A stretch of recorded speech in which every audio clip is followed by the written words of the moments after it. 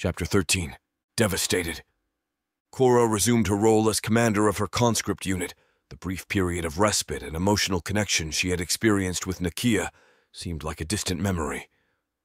The reality of their grim mission came flooding back with full force, eclipsing the warmth and solace she had found in Nakia's company. Standing before her unit, Cora's demeanor shifted almost instantly.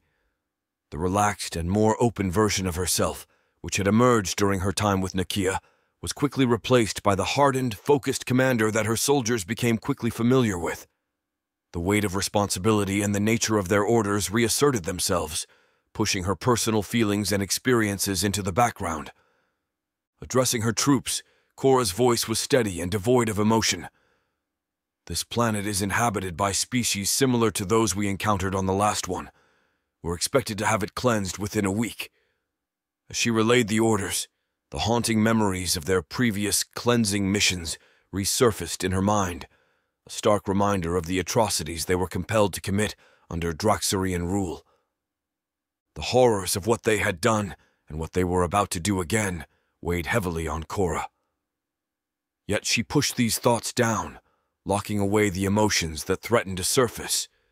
She knew that showing any sign of weakness or hesitation could have dire consequences, not just for her, but for all those under her command. Her transformation back into Commander Cora was a defense mechanism, a way to cope with the unspeakable acts they were forced to carry out. It was a role she had learned to embrace, one that required her to suppress her true self for the sake of survival. As the conscripts prepared for the upcoming battle, Cora's mind was solely focused on the mission. The brief glimpse of humanity and vulnerability she had shown was now hidden behind the mask of the commander, a role she played all too well. Memories of her time with Nakia were tucked away in a corner of her mind, a bittersweet reminder of what could have been in a different world, a different life. For now, Commander Cora was back, leading her troops into another grim chapter of their unending service to the Draxarian Empire. The time had come as General Krasthor's command echoed through the ship, prompting the conscripts to gear up for the impending mission. The atmosphere was tense with anticipation and the unspoken understanding of what was expected of them. Cora, now at the forefront of her unit, stood resolute and composed. Beside her, a step behind, were Marcus and Hector, her trusted sub-commanders. Each of them was responsible for leading a third of the conscripts, amounting to 2,000 soldiers under their individual command. The responsibility was immense, and the weight of their upcoming task was evident in their stern expressions. As they prepared to disembark, Cora outlined her strategy to Marcus and Hector. Her plan was meticulously crafted, designed to encircle the largest settlement on the planet and strike simultaneously from three different points. This tactical approach was aimed at overwhelming the inhabitants quickly, minimizing the duration of conflict, but maximizing its effectiveness. Once the plan was set, Cora issued the command to commence the attack. The conscripts, armed and ready, lined up before the space transport portals. Each of them, including Cora, Marcus, and Hector, raised their weapons, a final moment of preparation before stepping into the fray. In unison, the conscripts stepped through the space transport portals, materializing on the planet's surface. The settlement, unaware of the impending assault, was suddenly enveloped in the chaos of battle. Cora's unit emerged from one point, Marcus and Hector's from the others, converging on the settlement with ruthless efficiency. The attack was executed with precision, a testament to the programming and conditioning the conscripts had undergone. Each unit moved in sync, their actions almost mechanical in their execution. Cora, leading from the front, displayed a level of detachment and focus that was both impressive and disconcerting. With her plan in action, the settlement fell under their might as the reality of their mission became clear. The conscripts, once ordinary people from various walks of life, were now instruments of an alien agenda, carrying out orders that went against the very essence of their humanity. For Cora, the mission was another grim reminder of the life she had been forced into. The brief moments of vulnerability and connection she had experienced with Nakia seemed like a distant dream in the face of the cold, harsh reality of her duties. As she led her troops through the settlement, Her mind was focused solely on the task at hand, the commander and her taking over, pushing aside any remnants of the person she once was. After ensuring that no living creature remained in the first settlement, Cora and her unit, alongside Marcus and Hector's teams, regrouped to proceed to the next target. They moved in a grim march across the alien landscape, their black armor stark against the backdrop of the foreign world. The red face screens of their helmets displayed terrain features and life forms, guiding their path and highlighting potential threats. The armor, while a symbol of their enslavement, was also a testament to the technological prowess of the Drixarians. It provided them with crucial information and protection, yet at the same time, it served as a constant reminder of the control the Drixarians exerted over them. As they approached the next settlement, the conscripts were met with an unexpected sight. The area was abandoned. Buildings stood silent, with no signs of the inhabitants they had been tasked to eliminate. Cora immediately opened a communication link to General Krasthor, who, in typical Drixarian fashion, remained a thousand yards behind the front lines. General Krasthor, the settlement is deserted. Requesting reconnaissance to determine the next course of action, Cora transmitted, her voice calm and controlled. Understood, Commander. Stand by for intel, came the General's reply. As Cora waited, an unusual sensation crept over her. Despite being encased in her armor suit, she felt the hairs on the back of her neck tingle, a primal instinct that something was amiss. She scanned the surroundings, her helmet sensors showing no immediate threats, yet the feeling persisted. Marcus, standing nearby, noticed Cora's slight shift in posture. Something wrong? he asked, her voice tinged with concern. Cora hesitated, not wanting to cause unnecessary alarm, yet unable to shake the feeling. I'm not sure.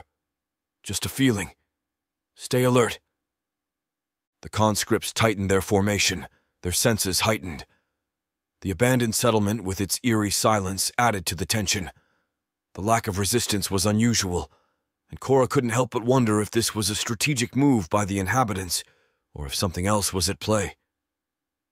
As they waited for the reconnaissance data from General Krasthor, Cora's mind raced with possibilities. The tingling sensation, a reminder of her human instincts beneath the layers of technology and conditioning, kept her on edge. The situation was a departure from the usual pattern of their missions, and in the unpredictable environment of alien worlds, anything was possible. The moments of waiting felt longer than they were, each passing second amplifying the sense of unease among the conscripts. Cora remained vigilant, her gaze sweeping over the desolate settlement, prepared for whatever might come next. The conscripts watched in awe as the sky above transformed into a canvas of otherworldly phenomena the once clear expanse was now marred by the emergence of massive portals, each a swirling vortex of energy that seemed to challenge the very laws of nature. The air around them crackled with energy, an unmistakable tension that resonated with the ominous appearance of the portals. Cora, her attention fixed on the sky, felt a surge of uncertainty. This was unlike anything they had encountered before. The Drixarians, for all their advanced technology, had never displayed such a show of force in the skies. The possibility that this was the work of another alien race sent a chill down her spine. Stay sharp, she commanded, her voice cutting through the stunned silence of her unit. We don't know what's coming through those portals. Marcus and Hector, standing by her side, readied their weapons, mirroring the actions of the rest of the conscripts. The anticipation of a potential new threat superseded their initial mission objectives. As they watched, shapes began to emerge from the portals, their design suggesting advanced technology and formidable firepower. General Krasthor's voice crackled over the comms, a rare hint of surprise in his tone. Conscripts, be prepared to engage. We are not alone in this system. The conscripts, already battle-weary, steeled themselves for a confrontation with this new, unknown adversary. Cora, her mind racing with tactical assessments, issued orders to her troops. Form defensive positions. We don't know their capabilities or intentions. Hold fire until my command. The conscripts observed with growing unease as the dart like alien ships continued to emerge from the portal, aligning themselves in the sky with remarkable precision and order. The sight of these ships, sleek and menacing, created a stark contrast against the backdrop of the planet's serene atmosphere.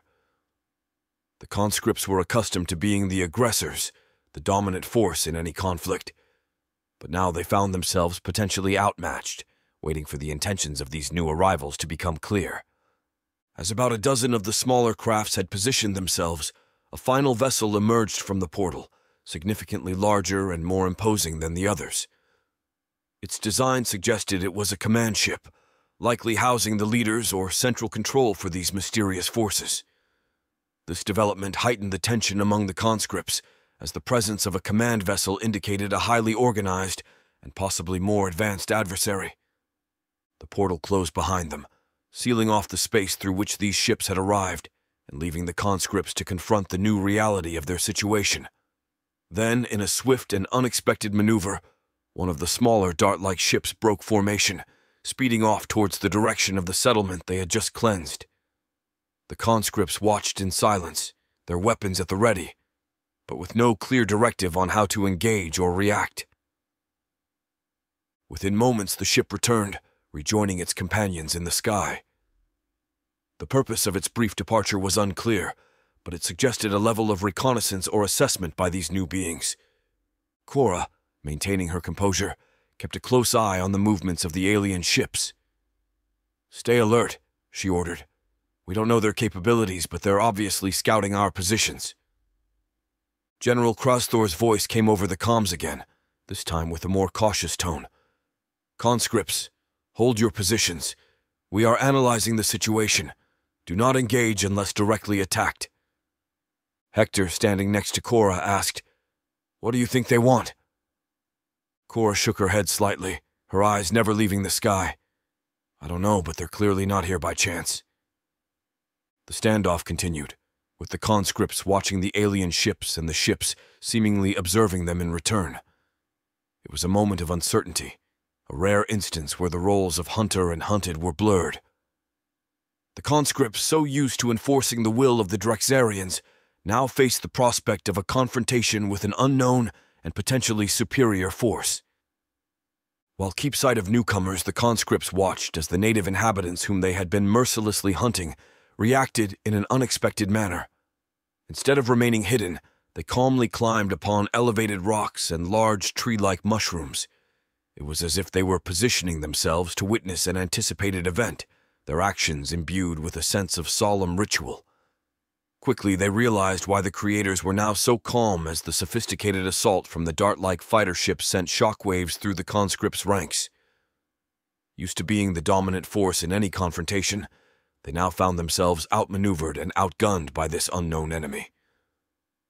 The arrival of these advanced alien ships, coupled with the natives' lack of fear, suggested that the conscripts were facing a force unlike any they had encountered before. General Krasthor, who had always maintained a semblance of control and composure, was visibly shaken by this unforeseen turn of events. The advanced technology and coordinated tactics of the alien fighters were unlike anything within the Drexarian arsenal, leaving him and his conscripts at a significant disadvantage. As the sleek ships descended, they swiftly organized into an attack formation, their movements precise and coordinated. The air was filled with the hum of their engines, a sound that heralded the onset of a formidable assault. Without warning, the alien fighters unleashed their firepower. Beams of concentrated energy and high-velocity projectiles sliced through the air, targeting the conscripts with unerring accuracy. The impact was immediate and devastating. Conscripts were hit, their armor offering little protection against the advanced weaponry. Cora, realizing the severity of their situation, shouted orders above the din of battle and internal comms. Find cover! Return fire! But her commands were barely audible over the chaos that had erupted around them. The disciplined formations of the conscripts quickly dissolved as they sought whatever shelter they could find. They returned fire, but their standard issue weapons seemed inadequate against the agility and advanced defenses of the alien ships. Cora, ducking behind a fallen structure, looked around at the disarray. The conscripts trained for ground combat were ill equipped to handle an aerial assault of this magnitude. She saw fear in the eyes of her comrades, a fear that mirrored her own. General Krasthor, attempting to regain control, issued frantic orders over the comm system. Regroup! Focus your fire on their flanks! But his command seemed futile in the face of the overwhelming assault. Cora, amid the chaos, tried to maintain her composure and lead her unit. But the realization that they were facing an enemy with far superior technology weighed heavily on her. The conscripts, despite their programmed training and conditioning, were being pushed back, suffering casualties at an alarming rate as the battle raged on, with the alien fighters dominating the skies. The conscripts fought desperately, but it was clear that they were losing ground. The situation was rapidly deteriorating, and for the first time, the possibility of a defeat loomed over them. As the alien assault continued, Cora and the conscripts faced the harsh reality that they were not the invincible force they had been led to believe. This encounter was a stark reminder of the vast and unknown dangers that lurked in the cosmos, and the conscripts were caught in the midst of it, fighting a battle that was quickly turning into a struggle for survival. The sleek fighters maneuvered through the air with an ease that made them seem almost ethereal. Their weapon systems were clearly superior, and the conscripts' return fire did little to deter their onslaught. In the midst of this chaos, General Krasthor attempted to rally his troops, but the shock of this unforeseen attack and the sheer firepower of the enemy left him struggling to maintain control of the situation. As the battle raged on, the conscripts were forced to adapt quickly to this new threat, their survival instinct kicking in against an enemy whose capabilities and intentions were unknown. The conflict on the alien planet had escalated to a level beyond anything they had anticipated, plunging them into a fight that was as much about understanding this new enemy as it was about staying alive. Take cover, Cora shouted as she and her comrades scrambled for safety, heavily outmatched by the aerial superiority of the new enemy. General Krasthor, realizing the severity of the situation, barked orders into his communicator Form defensive lines! Return fire! But his commands did little to stem the tide of the attack. The dart like ships moved with precision, their weapons cutting through the ranks of the conscripts. Explosions erupted around them, sending plumes of dirt and debris into the air. The conscripts, despite their resilience and healing implants being activated, struggled to mount an effective defense against this unexpected foe. Cora, firing at the ships, felt a sense of desperation. Who are they? she yelled over the chaos. No one had an answer. The new alien force was a mystery, their sudden appearance and advanced technology a shocking development in the conflict. The battle raged on, with the conscripts struggling against the overwhelming force of the alien fighters. A critical and unprecedented event unfolded. General Krasthor, who had been orchestrating the conscripts' response from a relatively safe distance, found himself directly in the line of fire. One of the sleek, dart-like fighter ships broke from its formation, executing a rapid and precise maneuver that brought it hurtling towards General Krasthor's position. The general, caught off guard by the sudden and aggressive approach, barely had time to react. Cora, witnessing the scene unfold, shouted a warning, but it was too late. The fighter ship unleashed a barrage of energy fire, a concentrated stream of lethal force that was unrelenting and precise. The general's personal shield, designed to withstand standard weaponry, was no match for the advanced alien technology. It flickered and failed under the intense assault. In a matter of seconds, the unthinkable happened. General Krasthor, a symbol of Draxarian power and invincibility, was struck down. The impact of the energy beams was devastating, leaving no chance for survival. His figure was engulfed in a bright flare of light, and when it faded, nothing remained. The conscripts, witnessing the death of a Draxarian general for the first time, were stunned into momentary disbelief. The fall of General Krasthor was not just a physical loss, but a significant psychological blow. It shattered the aura of invulnerability that the Draxarians had always maintained. Cora, amidst the shock and chaos, realized the gravity of the situation. With General Krasthor gone, the command structure was in disarray. She quickly took charge, shouting orders to regroup and retreat, Fall back! Regroup at the secondary position. Marcus and Hector, along with the other conscripts, followed Cora's lead, pulling back from their exposed positions. As they retreated, the reality of their situation became clear. This battle was unlike any they had fought before. The conscripts regrouped at a safer location, trying to process the loss of their general while bracing themselves for the next phase of the battle. Demise of General Krasthor left Cora and the conscripts in a dire situation. They found themselves cut off from their ship, and by extension, any hope of immediate reinforcement or extraction. General Krasthor had been the crucial link in their chain of command, the sole conduit through which communications with the ship, and more importantly, with Zahhak, were conducted. His death effectively severed their connection, leaving them isolated on the alien planet. Cora, now the de facto leader in the absence of any higher authority, tried to maintain order among the ranks. As they regrouped and attempted to form a defensive perimeter, the dart-like attackers continued their relentless assault. The conscripts returned fire, even though it was clearly ineffective tactic against the alien ships. In the midst of the chaos, a bright flash illuminated the sky. Cora and the others looked up, witnessing a sight that filled them with a sense of dread. It was their ship, activating the Rosen Bridge and jumping through space, escaping the conflict and leaving them behind. The realization that they had been abandoned hit the conscripts hard. They were alone, stranded on an alien world, with no means of communication and no hope of rescue. The flash in the sky, marking the departure of their ship, was a silent testament to their forsaken state. Cora, despite the desperation of their situation, tried to rally her troops. We need to move.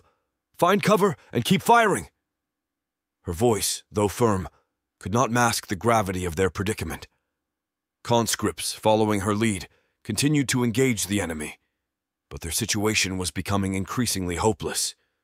They were trapped on a hostile planet, facing an unknown and powerful adversary, with their only means of escape now gone.